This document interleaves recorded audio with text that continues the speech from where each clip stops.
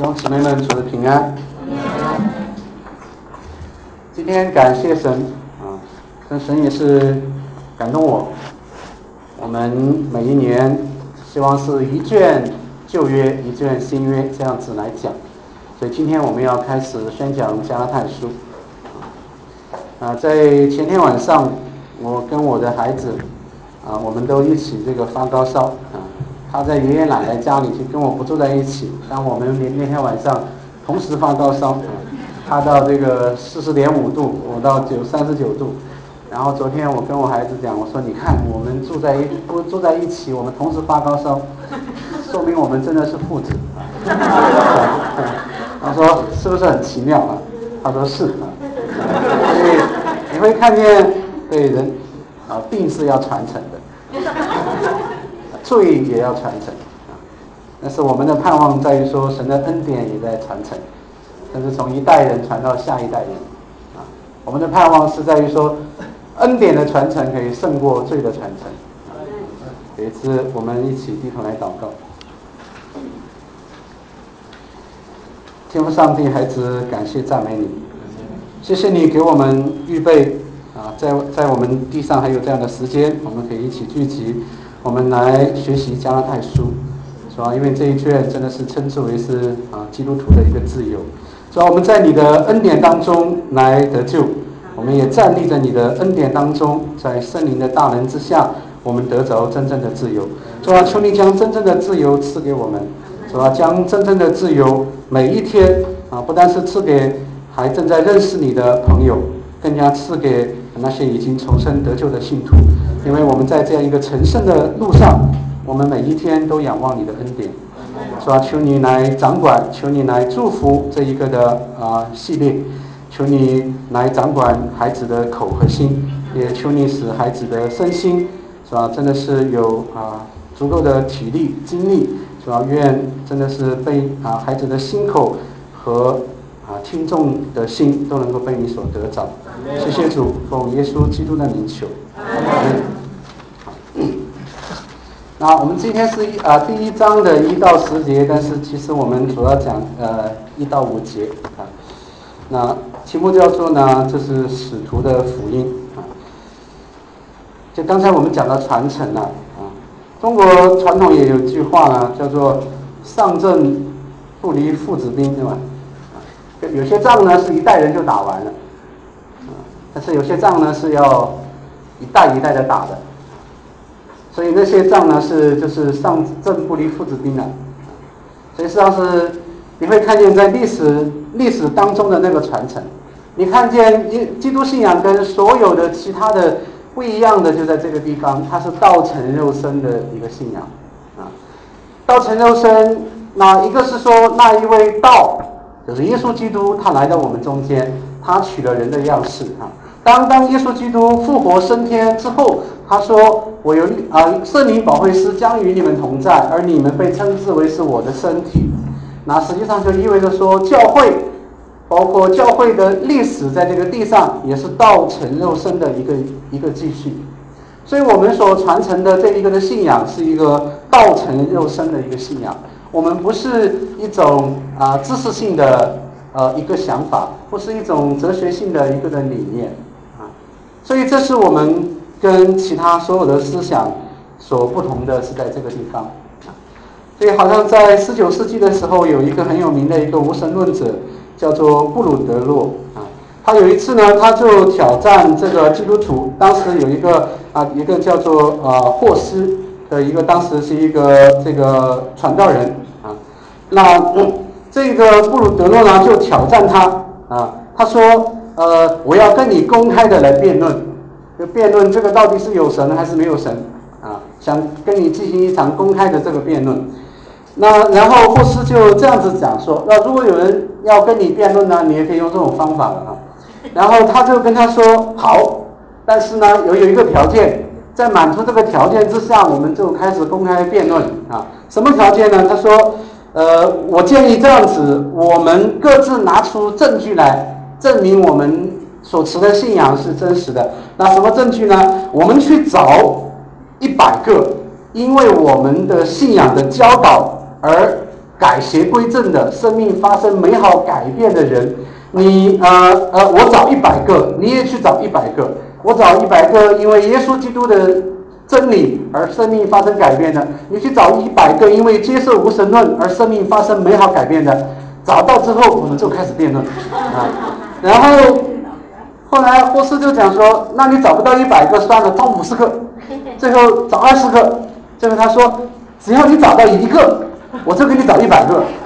然后我们一起来公开的辩论啊。结果到后来，这个布鲁德诺呢，最后就收回了他的挑战啊，因为他连一个都找不到。没有人因为接受无神论的思想，他的灵魂被更新的啊，因为那是一种思想。无神论找不到一个道成肉身的无神论，任何一种思想，任何一种都是这样子，他找不到一个在肉身当中的一个传承啊。真理，我们今天要讲的是说，神的福音真理是在肉身当中来传承，而在肉身当中传承的乃是真理，乃是耶稣基督的福音。你看不到这种传承。那我再讲一个故事，有一个在以前有一个犹太人的家庭，啊，我们在这一章保罗会讲到说对于犹太教的一个批评的，啊，就是在加拉太所建立的这些教会啊，大概是。保罗第一次宣教的时候，去到加拉太，加拉太的南部，差不多加拉太就是现在差不多土耳其的地方。那我们知道，这里有安提阿教会，有路士德教会，这都是保罗第一次宣教所建立的教会。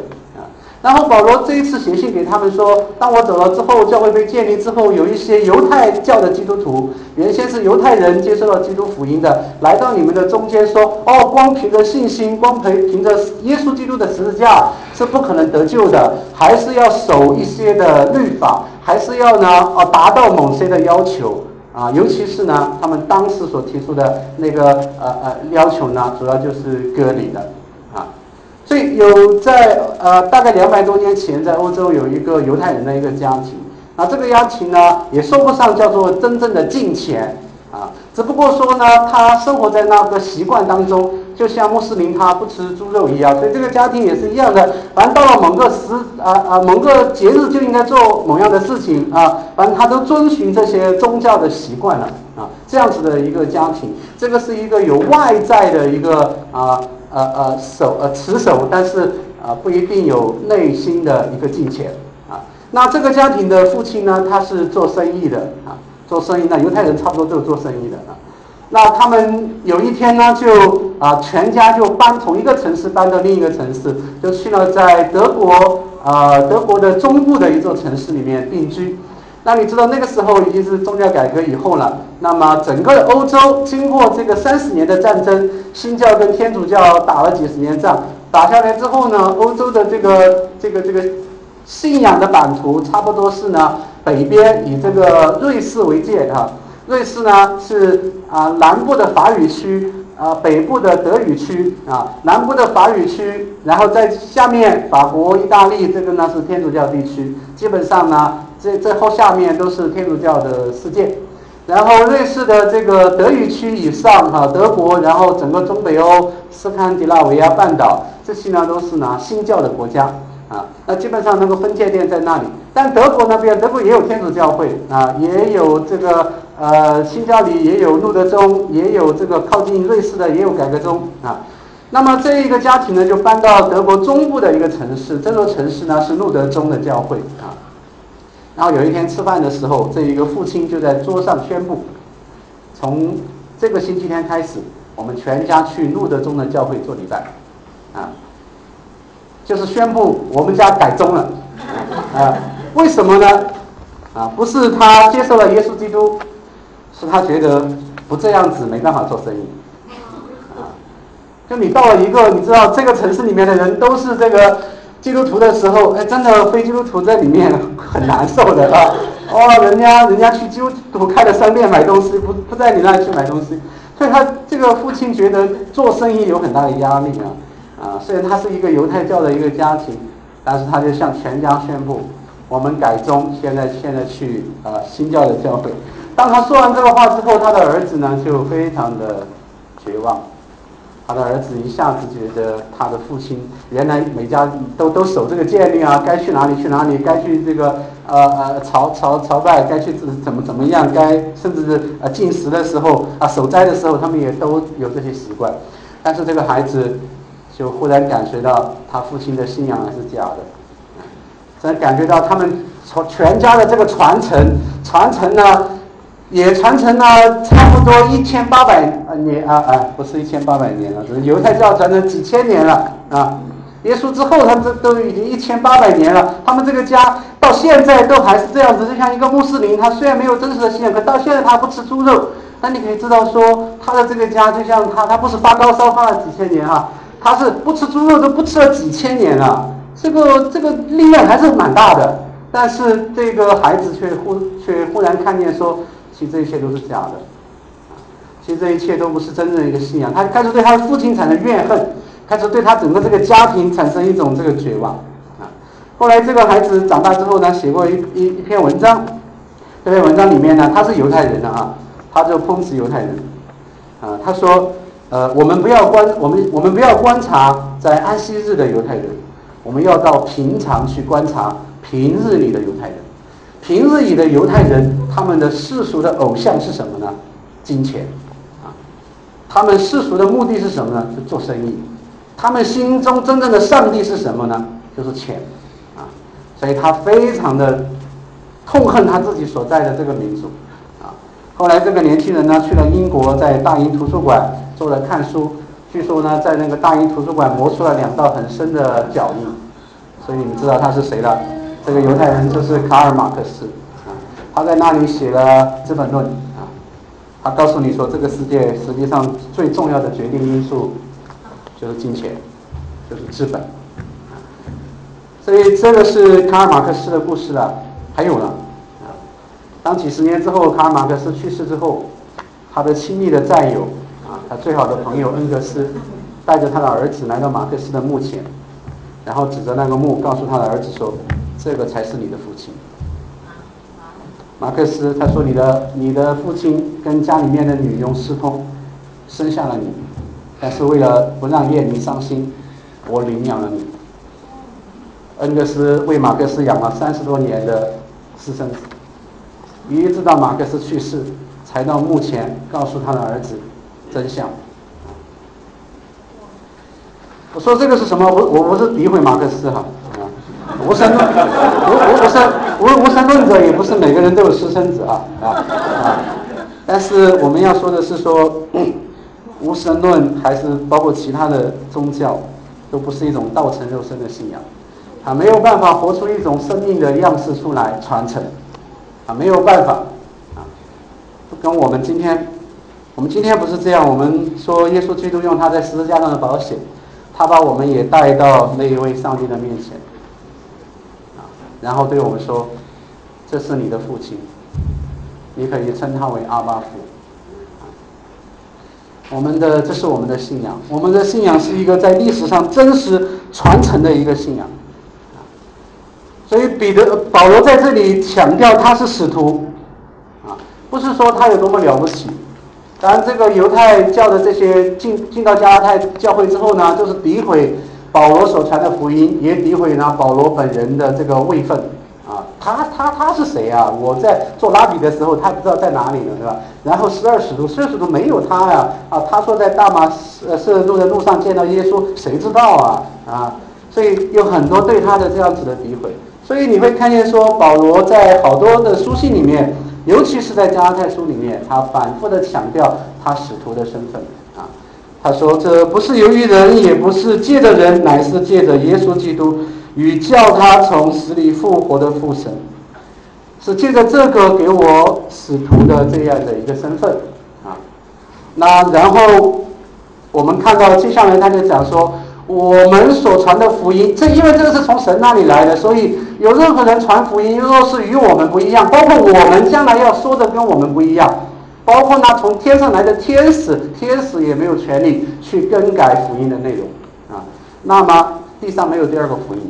啊，因为这个是真理啊。这是刚才我们讲的两面，第一是真理是在肉身当中传承啊，第二，在肉身当中传承的乃是真理，啊，所以我们真的看见是很很美妙。刚才那个中东讲到这个圣师啊的这样的一个传承哈，我在那个前天晚上的时候呢，高烧的时候我就我就在那里唱诗哈，呃，声音也比较大啊，然后就在那里学，哎，我那天晚上学了两首圣诗啊，一首是这个叫《天父看顾》。啊啊，不知道你都听过那首歌啊？生病的时候特别适合唱那首歌啊。他说：“天父必看顾你，时时看顾，他必看顾。”啊，然后还有一首呢，叫《万物的结局尽了》。好，然后你知道，在我们的诗歌本里面有一首诗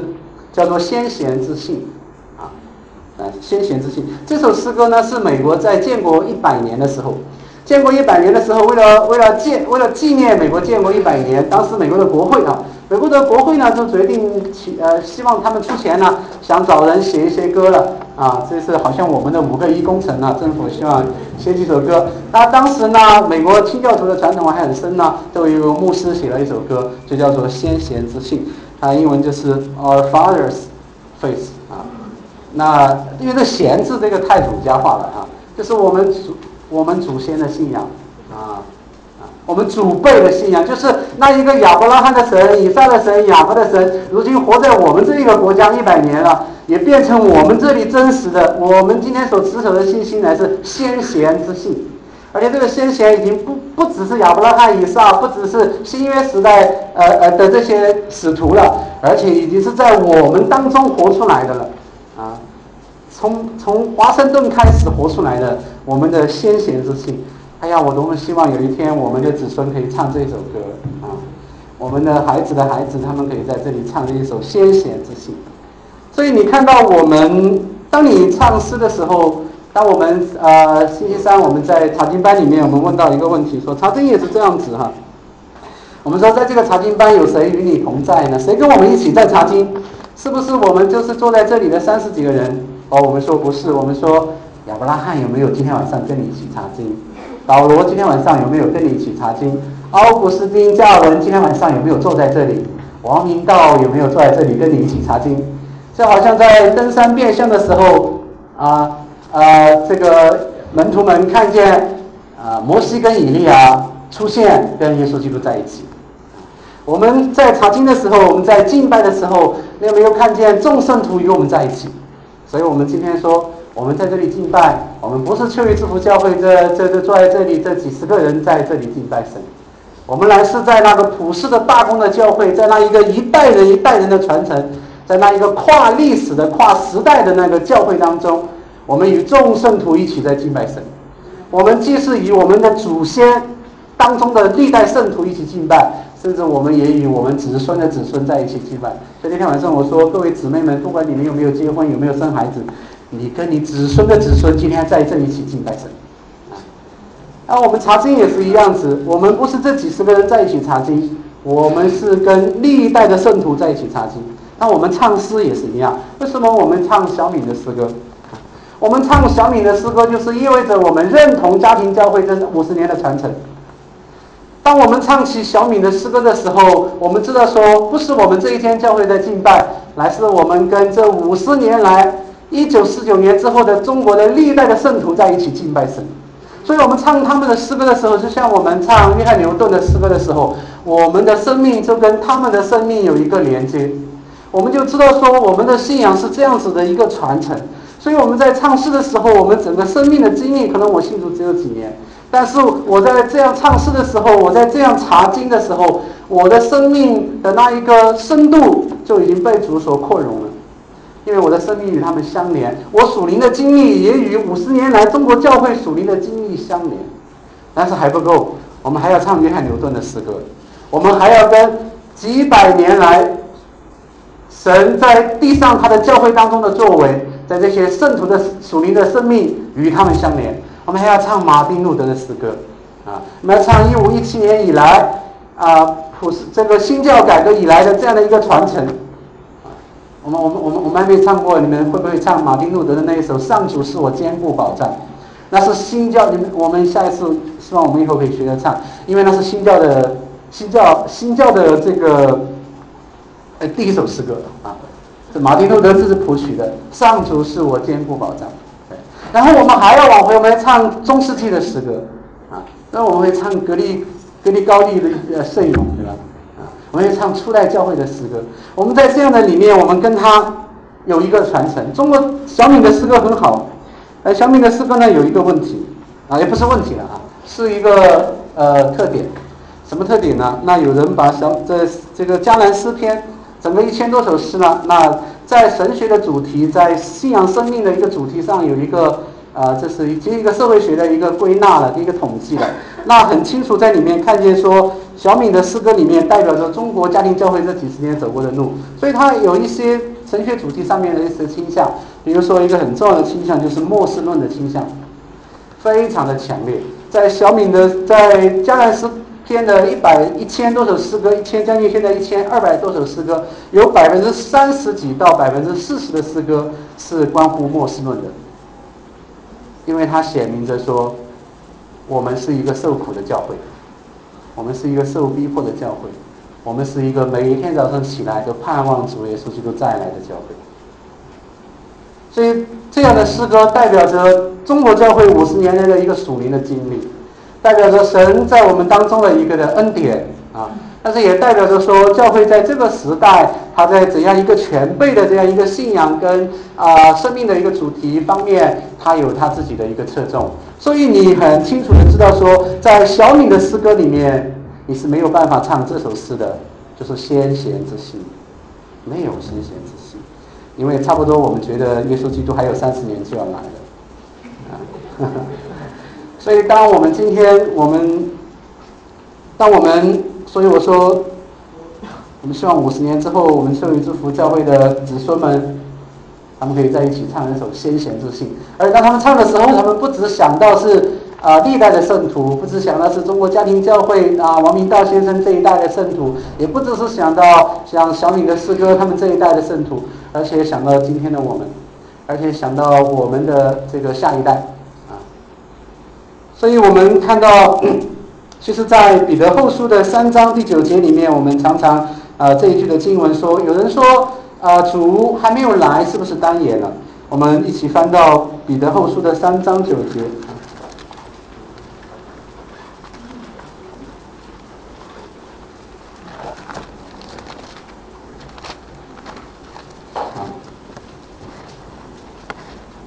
第八节开始说：“亲爱的弟兄啊，有一件事你们不可忘记，就是主看千年，一日如千年，千年如一日。主所应许的尚未成就，有人以为他是单言，其实不是单言，乃是宽容你们，不愿有一人沉沦，乃愿人人都悔改。那这个地方说的不愿有一人沉沦，乃愿人人都悔改，不是指到说一个不是不救论。”就是说，每一个人都会信主啊，不是指的这个意思，乃是指的说他们在等什么？呃，主在等什么？主并不是在等到说啊，因为彼得在这里面，他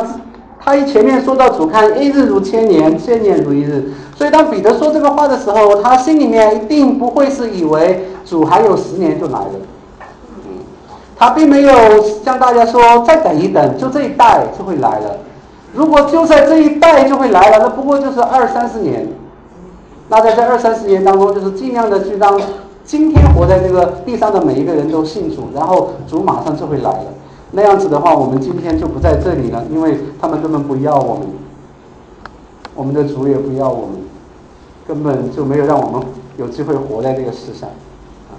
所以主单言来，主说这里不愿有一人沉沦，来是什么意思呢？乃是说，主在永恒当中就已经创造了我们，主在永恒当中就拣选了我们，主在永恒当中没有这个世界以先，在他的意念里面就有教会，就有我们，所以我们要在这个人类的历史上，慢慢的被生出来，慢慢的活在这一个地上，在真实的生命当中去经历试炼。然后去认识基督，所以神要等，等什么呢？等日期满足的时候，等什么呢？等数目满足的时候，等他在永恒当中所定下的、所拣选的他的儿女，在人类的历史上出生，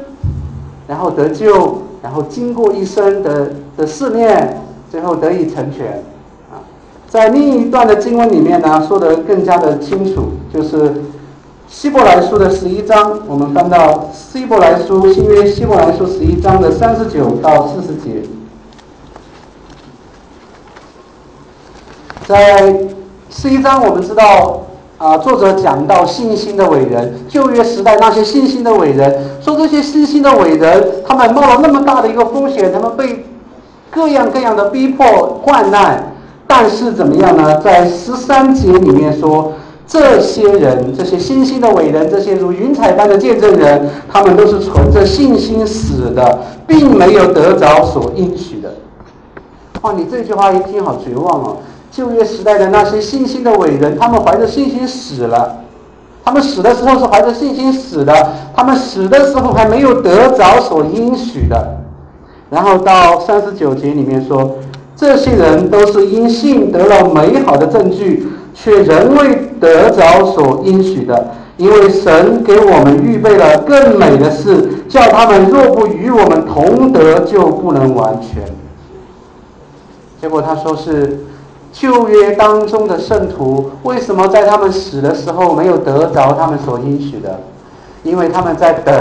新约时代的基督徒，他们在等我们。那第一世纪为什么当那些基督徒面临逼迫的时候，他们说：“主啊，你为什么还没有来？”彼得告诉他们说：“因为神要等马丁路德，因为他们要等黄维才。”因为他们要等我们今天在座的每一个弟兄，要等我们被生出来啊！因为他们若不与我们同德，就不能完全。所以你看到说，神在永恒当中所拣选的人，乃是一个跨时时代的一个教会，那一个无形当中的一个教会，我们被放在某一个的历史的阶段啊，所以。如果说今天你知道说中国家庭教会今天进入到一个的阶段，什么阶段呢？就是要建立教会的阶段，就是要啊把我们的教会真正的好像山上之城一样的彰显出来，要成为这个这个社会当中的明灯，要来影响，要来翻转整个中国的文化，要来影响整个的世界。就像中东长老说，要让我们所相信的，我们所赞美的声音。成为流行音乐，啊，那荷兰的教会、安徽的教会，老师说，当今天我们看到的时候，我们又不是批评他们，我们是看见其中我们今天要来反思的。要有一点很重要，他们在受逼迫当中被赶得到处跑，所以他们到处建立教会，他们将福音传遍了中国的每一个的乡村，这是神在他们当中非非常大的恩典。但是到现在，你发现一个很大的问题，就是今天河南、安徽他们的乡村教会面临到一个衰微。这一个衰微是怎样发生的呢？就是因为二十年来，他们没有重视家庭的施工；二十年来，他们没有重视儿童主日学；二十年来，他们没有重视重视他们的儿女，他们只向成年人传福音。他们想在这一代当中得着更多的人。老实说，如果耶稣基督你很确定他二十年之内就会来，那还建立什么教会？赶紧传福音。就是这一代，就是该生下来的人都已经生下来完了，历史就要结束了，再也不会有人被生下来了。那么真的是说弟兄姊妹把所有的都抛弃了，除了传福音，除了把今天已经生下来的人更多的带到主的面前，没有其他一件事情是有意义的。真的是这样，但是如果不是呢？如果主在主在来还有几百年，我们就要问说：圣灵之父教会过了二十年之后，重新向我们的孩子传福音，你就会看见说，当有一次哈，我在有一次一个研讨会上跟一个国外的一个牧师谈的时候，我就讲到说，我说中国的乡村教会有一个很大的问题。就是他们以反家庭的方式在传教，但是什么叫反家庭的方式呢？我很简单啊，就中国人讲，中国传统讲一句话，就讲大禹治水啊，三过家门而不入。他们以三过家门而不入的方式在传福音。很感谢神，他们把自己摆上，但是，但是什么？我我在我去过一个乡一个很大的一个乡村教会，他们号称是有几十万人啊，在那里他们他们到那个时候其实已经衰微很多了，但是还有差不多五百多个福音使者，就是就是差不多是宣教士。这五百多个福音使者里面有绝大多数是姊妹，这五百多个福音使者里面全是单身，所以我当时跟他们教会的同工。交流的时候，我说你们教会现在最大的问题就是为这些福音使者找男朋友、找女朋友。你们现在教会最大的一个事工就是婚姻，帮助他们谈恋爱，帮助他们建立家庭。要不然二十年之后你们没有家庭，你们一不断的在外面传福音，基督徒不断在外面传福音，然后自己都不结婚，自己都不生孩子，生了孩子也不带来教会来，那么怎么样呢？在那一代人，在这二十年，你看见中国乡村教会迅猛的增长的时候，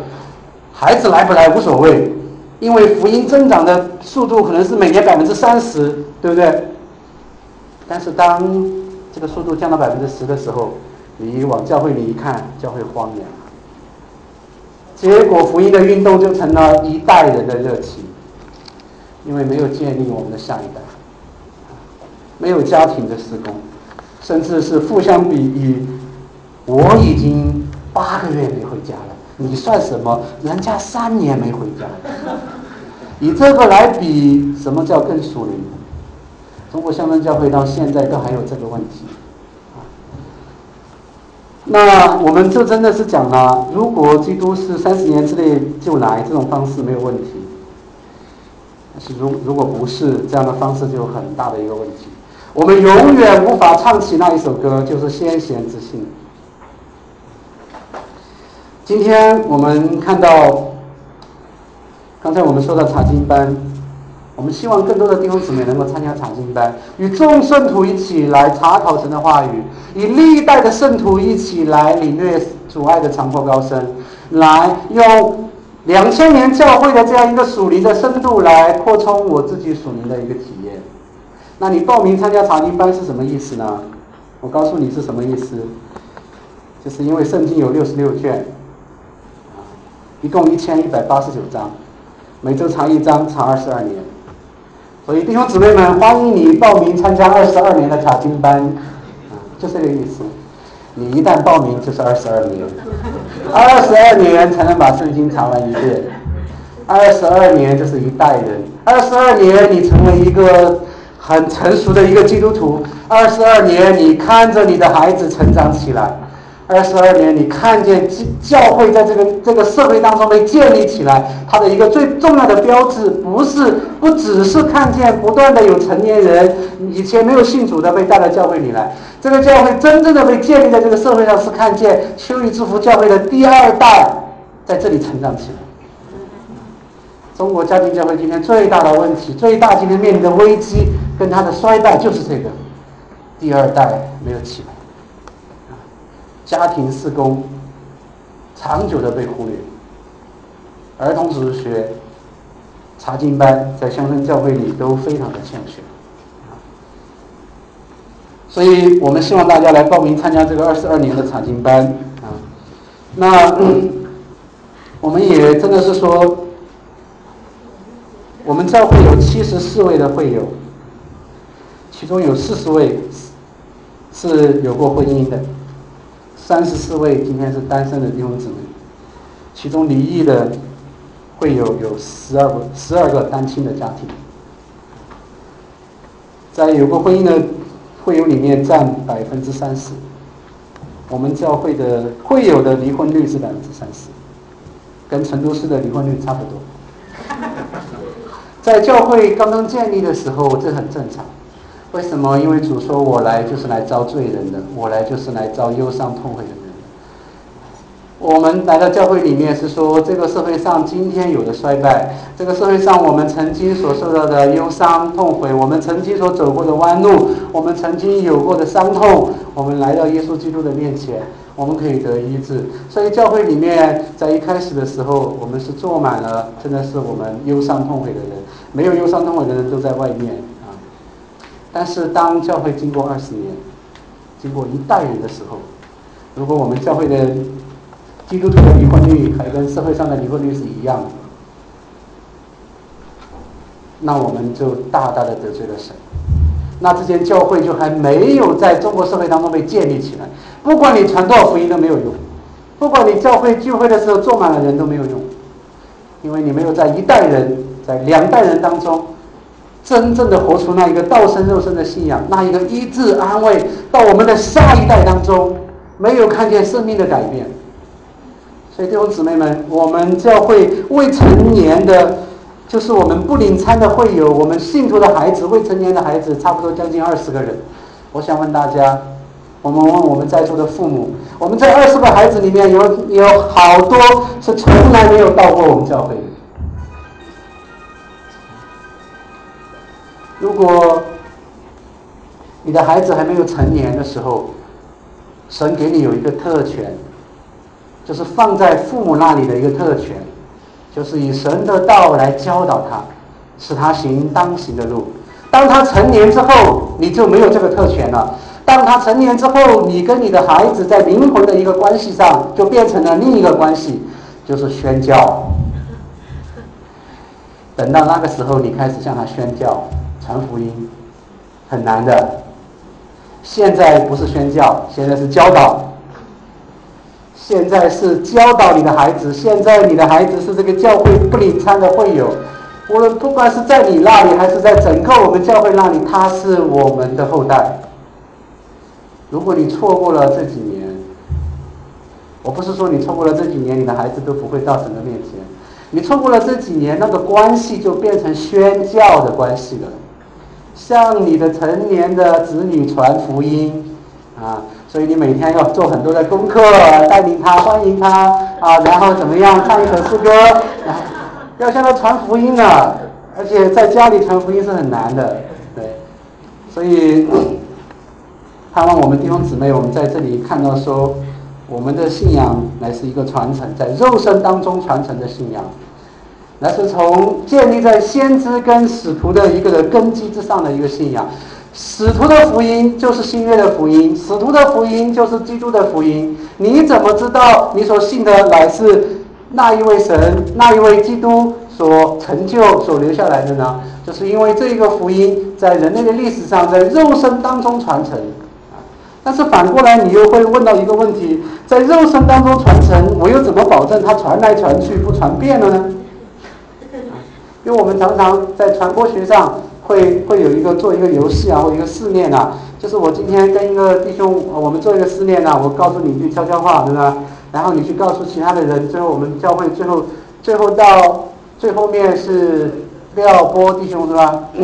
好，最后廖波弟兄跑过来跟我说。之后你就发现那句话已经传得面目全非了，啊啊，差不多在很多的这种试验里面都是这个结果，就是最后一定会传遍的嘛，啊，传的跟最初完全不一样了。所以你就会问到问到一个问题说，呃，我们那一个超验的信仰，耶稣基督所成就的信仰，啊，那如何是一个传承的信仰？但是传来传去，它又它又会不会传遍呢？这是我们所讲到的第二一点，就是在肉身当中所传承的乃是真理，是福音的一个本质，决定了这一个信仰的传承是没有问题的，有问题，但是不会失落啊，因为是圣灵的形状，借着使徒、圣徒在一代一代的这个生命当中来传承。所以就好像第呃三节到第四节啊，第一节里面保罗说到自己使徒的一个身份，他强调自己使徒的一个权柄，他强调这他所传讲的这一切是从神而来的，而且从神而来的是透过使徒来传承的，甚至没有透过天使来传承。所以他说，甚至天使来了，如果讲的与我不同，那都是另一个福音。那所以到第三节跟第四节的时候呢，那保罗保罗讲到说，让这一个传承不至于不至于变样，不至于走样，的是在于这个福音本身的一个性质。他说：“愿恩惠平安从父神与我们的主耶稣基督归于你们。在这个地方也讲到整卷加太书的一个的信息，就是恩惠与平安的信息。保罗在所有他的书信里面的问安，都是这两个中心词。甚至也可以说，在基督徒的一个生命跟生活当中是这样子两个的中心词。但这个中心词是指到说，我们从我们领受的这个角度来讲，哈，不是从上帝他自己的主权跟荣耀的角度来讲，从我们领受的一个角度来讲的一个中心词就是恩惠和平安。先有恩惠，然后有平安。我们所得到的最大的福气就是恩惠与平安。所以加呃保罗在加太书里面要传讲了一个恩惠的福音，他要传讲是说唯独靠着上帝白白的恩典才能够得自由。所以整卷加拉太书的主题，那我们可以称它叫做恩典中的自由，恩典中的自由。而这一个恩典当中的自由是来自于耶稣基督为我们所成就的，就是基督照我们父神的旨意为我们的罪舍己，要救我们脱离这罪恶的世代。但愿荣耀归于神，直到永永远远。阿门。这两这一句的经文，实际上已经很清楚的表明了福音的大概。什么是福音？在这两句的经文里面已经讲得很清楚，就是基督的所成就的福音，基督的十字架。第一，它的本质是什么？它为着什么？是为基督为我们的罪而死。它的功效是什么？是为着救我们脱离这罪恶的世代而死。它的源头是什么？是按着父神的旨意而死。他的目的是什么？是为了归荣耀给神而死。这就是我们的福音，这就是基督，呃，这就是保罗要传讲的，使徒要传讲的那个福音。这一个福音的本质，决定了这一个肉身当中的传承。可能会因着人出问题，这个传道人家讲错了怎么办呢？教会出问题怎么办呢？教会不是没出过问题，中世纪教会出那么大的问题，而且今天新教的教会也都出问题。今天我们成都的每一家教会都要出问题，但是在这一切出问题之上，我们却看到说，保证那一个的传承的，来是这个福音本身，啊，来是这一个真理本身，来是圣灵的大人托起。他每一个的时代，托起每一个时代当中的基督徒和主的教会，所以，我们在这里，我们再一次的来看到这两句的经文哈，基督为我们的罪死了，这显明说他的死乃是救赎，他的死乃是一个挽回祭，他的死乃是满足上帝公义圣洁的愤怒。神的圣洁跟公义成全在十字架上，罪必有代价，这个代价就是死。哪怕是神他自己用自己的儿子去替代的时候，上帝也没有怜惜他的儿子，上帝也没有宽容他的儿子，而把所有的愤怒都撒在他的儿子身上，撒在十字架上的那一位基督的身上，啊，而挽回我们。这是救赎的本质，而功效是什么？就是带我们脱离这罪恶的时代，将我们带到上帝的面前去，称他为阿巴父。而这一切是照着父神在永恒当中的一个旨意来成就的，而目的是彰显神的荣耀。所以很多人是说，耶稣基督上十字架死了是为我们死的。这话对不对呢？也对，也不对。从在这个肉身的历史上展开，从我们领受的角度来讲，这话是对的。耶稣基督是为我们死了。但是在一个更高的一个层面，在一个神的永恒当中的一个旨意来讲，这个话也不对。因为为我们死，并不是呢终极的目的，终极的目的呢是为了神的荣耀死了。但是这一位神的荣耀是什么呢？就是将他的慈爱完完全全彰显出来的荣耀，就是将他的公义完完全全彰显出来的荣耀，就将他的圣洁完完全全彰显出来的荣耀。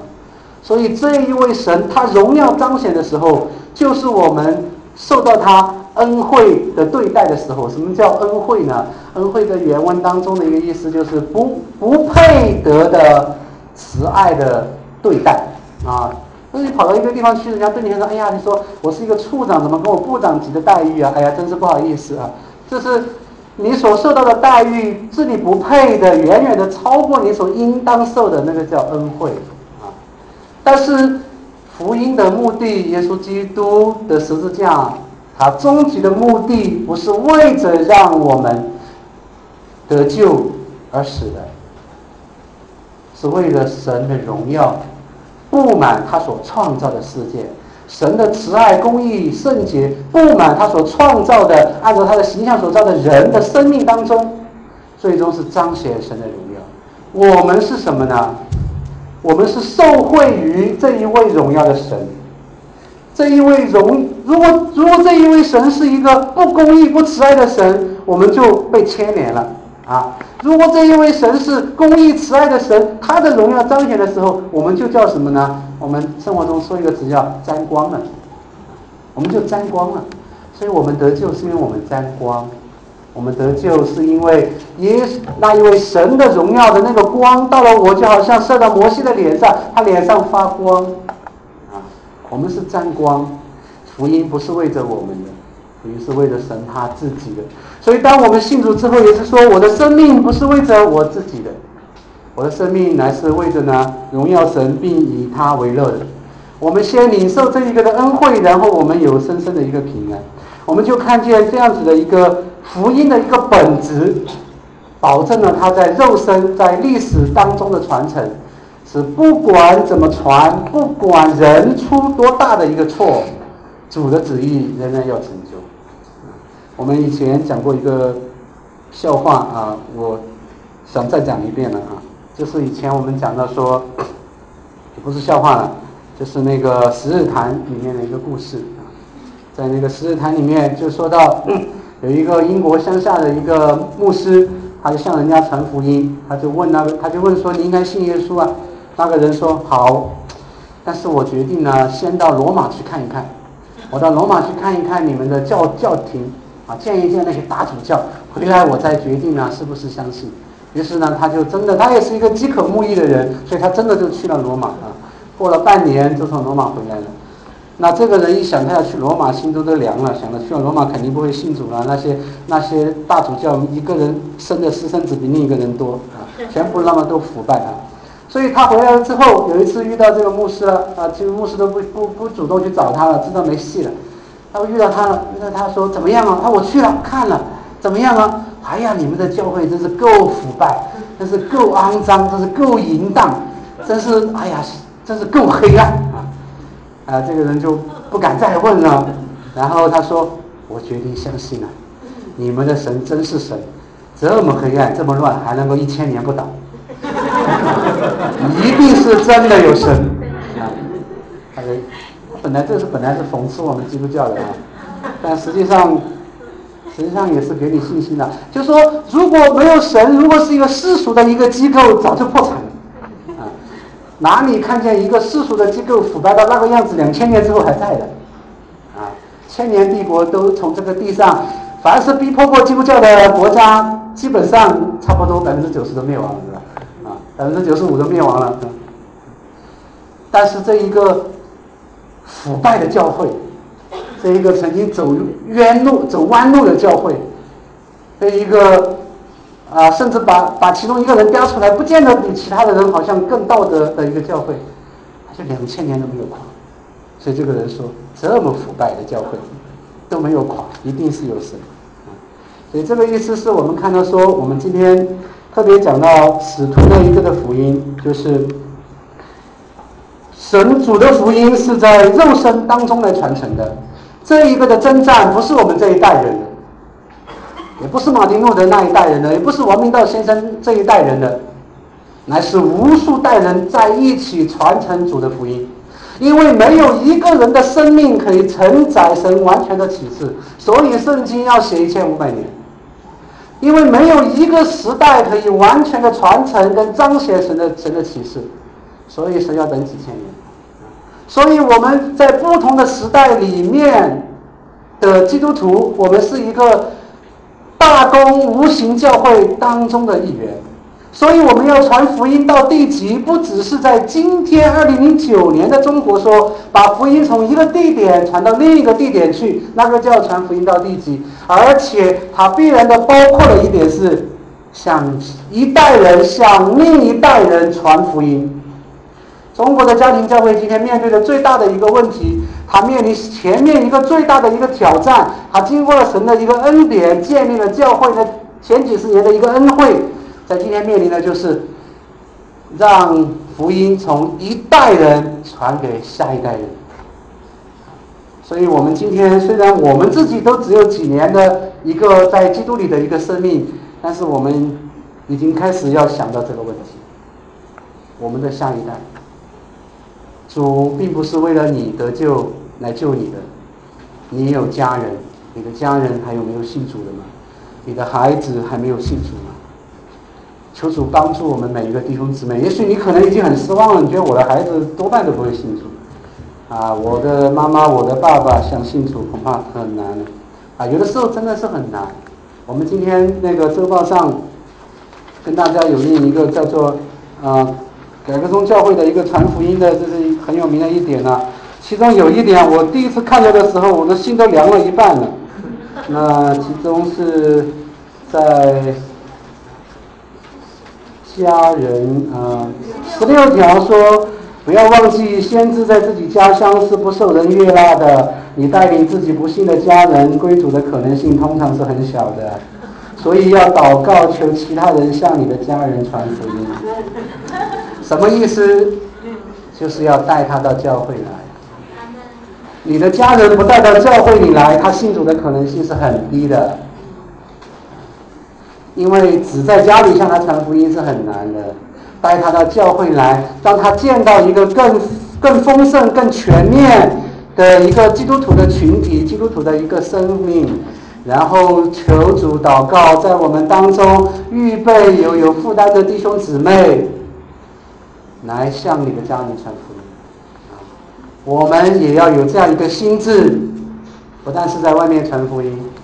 为我们的弟兄姊妹，为我们这个家里面的弟兄姊妹，为有没信主的家人来祷告，而且不仅是祷告，祷告了之后要去向他们传福音，啊，带你们的孩子到教会来，然后让那些哥哥姐姐们跟他传福音，啊，所以青年团契有一个很重要的使命，就是就是向你们的弟弟妹妹传福音，啊，因为老爸跟他传福音没有用。老爸都很叛逆了哦，但是哥哥姐姐们在他的心中还是半个偶像，老爸已经不是了，所以带他到教会里面来，啊，可能青年团契的哥哥姐姐们会去认识这些我们会有的孩子们，去关心他们，把我们的家人带到我们的教会里面来，我们真的是说，所以我们教会的意向是说，我们要建立基督化的家庭。家庭施工是我们的一个重心。我们教会还有好几位的弟兄弟兄姊妹，其实他们夫妻双方都是信主的，但是有一方是没有到教会来。我们还有十几位的弟兄姊妹，他们的夫妻当中的另一半还没有信主。我们盼望说，我们不但是在外面要宣教，我们教会我们每一位的弟兄姊妹。还有刚才提到将近二十位未成年的子女，那可能我们没有统计成年的子女也应该还有几，还有几十个。让我们一起来祷告，让我们一起来说，把我们的信仰从我们传到我们的下一代，让我们的教会建立起一个以基督化的家庭为根基的一个教会，一代人向下一代人传福音。啊让我们有一天可以唱起那首先贤之信的诗歌来，让我们真的是知道，耶稣基督的恩惠的福音，是在历史当中，在肉身当中来传承的，而且在那个肉身当中传承的乃是他的福音，所以即使是我们有软弱，啊，即使是我们属灵的经验、生命都不够。但是我们相信圣灵掌管着这些教会，所以圣灵会帮助我们，也求主激动，再一次的激动我们向家人传福音的一个心，激动我们向后代传福音的一个心，激动我们为教会的其他的弟兄姊妹的家人和子女来祷告、来服侍的一个心。如此，我们才被称之为叫做家里的人，我们才被我们的生命才真正的被带到了耶稣基督的家里面来。甚至就像我们说，你来参加查经班的时候，你的整个的你的生命、你的信仰才被带到了大公教会当中来。否则，你从来没有跟奥古斯丁一起查过经，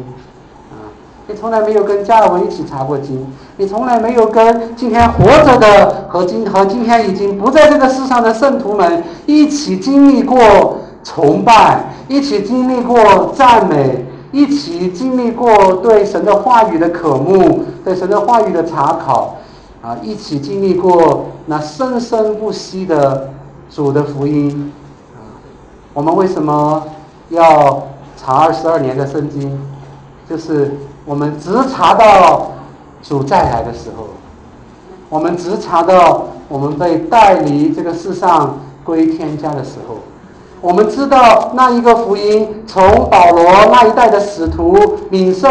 啊，耶稣基督亲自的一个的教导和圣灵引导他们进入一切的真理，将新约的福音、恩惠的福音、基督的福音所成书写下来，然后一代一代的建立教会，一代一代的领受神的启示，一代一代的把基督的生命活出来，如此才到了我们今天。所以我们今天有一个特别的使命，就是在我们这一代当中，把基督的生命活出来，把真理的根基建造下来。否则，你说你爱你的孩子，你说你怎样的爱你的孩子？你在外面怎么辛勤的工作、读书，三万块钱一年你都要送他去。但是我说你根本不爱你的孩子，你一点都不爱你的孩子，你当然也不爱主的教会。你要爱他的灵魂。你要爱耶稣基督的福音在我们肉身当中的传承。你不仅是说要看他说我发烧的时候他也发烧，你要看他说我赞美的时候他也赞美，我祷告的时候他也祷告，我爱主的时候他也爱主。啊，我要看见那一个生生不息的敬虔的基督徒的生命教会，在我们这一代当中，在我们下一代当中。中国的教会也包括在你家里，你可能是第一代基督徒，要真正的扎根下来。没有第二个福音，只有这样一个使徒的福音，只有这样一个在历史当中传承的福音，只有这样一个经过了历代的圣圣徒，然后今天流入你，然后还要从你流出去、流下去的那个福音，从来没有你独自在神面前领受的那个福音。从来没有，只有你一个人。你既没有祖先，也没有后代。你今天被神安慰了，你今天被神重生了。所以，茫茫的天地当中，只有你站在耶稣基督的面前，没有那样的福音。我们一起低头来祷告。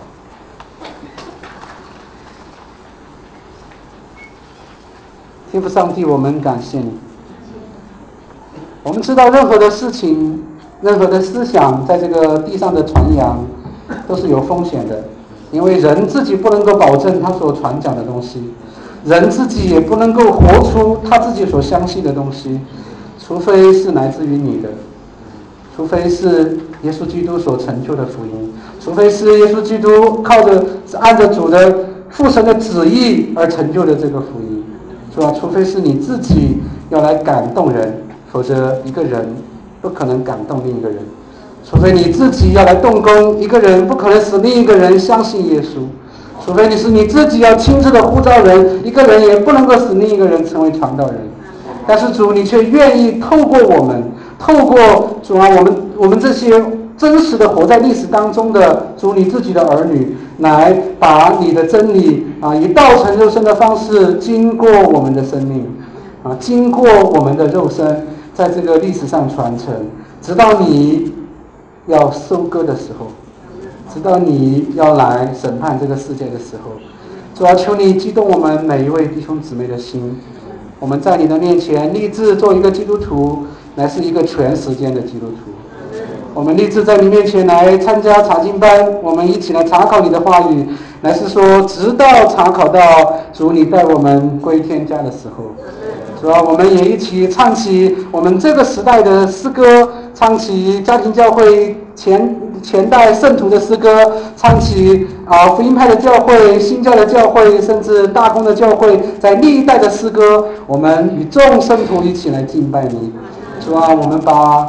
秋雨之福教会每一个会友的子女和为信主的家人，交在父神你自己的手上，主啊，把我们的一颗心智也交在主你自己的手上。求你给我们的一个意向，主啊，求你们，求你使我们在啊新的一年要开始的时候，让我们每个人在主你的面前来立志，让我们这间教会也在主的面前来立志，主啊，让明年你加添更多的基督徒的家庭给我们。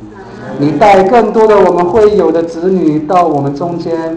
你带更多的会有的丈夫跟妻子，还有其他的家人在我们的中间。我们今天会有当中有九对基督徒的夫妻，主啊，在明年求你赐给我们十五对、二十对基督徒的夫妻，求你来医治每一个真的是无论是在家庭、在工作、在各个方面受过伤害的。主要是这样子的弟兄姊妹，求你将新的应许跟盼望放在他们的里面。求你知道说，什么，你的福音要经过我流向下一代，要经过我，是吧，流向我的家人，是吧？我们真的是求你在这个时代来动工。我们看见中国的教会要兴起，城市的教会要兴起，乃是它的一个标志，是在于是吧，真的是。儿童组织学的施工要兴起，是吧？真的是看见主我们查经班的施工要兴起，婚姻的施工要兴起，是吧？家庭的施工要兴起，对单身家庭的服饰要兴起，是吧？对每一种的这个境遇当中的弟兄姊妹彼此的一个服饰要兴起。主求你来激动每一位青年团契的弟兄姊妹，让他们对于。他们的弟弟妹妹是吧？真的有一个福音的负担，求你来兴起我们的主儿童组织学。啊，我们将真的儿童组织学交在父神的手上，求你啊来将每一位的父母交在父神你的手上，将今天每一位未成年的子女，我们教会不领菜的会友交在父神你自己的手上，求你在我们的会友当中激动每一个人的心，为我们教会每一位啊会友的子女，每一位会友的未信主的家人都在我们当中呼召激动他的守望者，他的带导者。他的一个帮助者，我们感谢主，透过这样子的一个在你面前的励志，主啊，你将我们更紧紧的相连，真的是成为你家里面的人。感谢主与我们同在，让我们此刻在你面前的定义，真的是常常的存在我们的心间，并且每一天有你的恩惠平安与我们同在。如此的祈求祷告，乃是奉耶稣基督的名，并将一切的荣耀归给我们在天上的父。阿门。